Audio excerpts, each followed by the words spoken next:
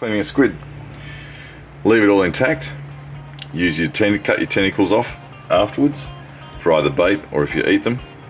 First of all, find where the feather bone is, just up along the back here. Reach in as far as you can and just hook your thumbnail underneath it and separate it away from the body and then push your thumb over the top separating it from both sides and stick your fingers up and push that feather away from the mantle and then using your thumb try and grab hold of the feather and pull straight out and there's all your guts. And sometimes a bit gets left in there but you can get that later. Now put two fingers inside or just hold on to the tube however you can. Have the wings facing towards you and if you just pinch together with your thumb and forefinger like that. You can squeeze in between the two.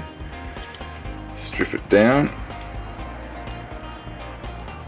Just breaking that skin away. And then if you pop the hood through and then grab on the other side. Pull all that away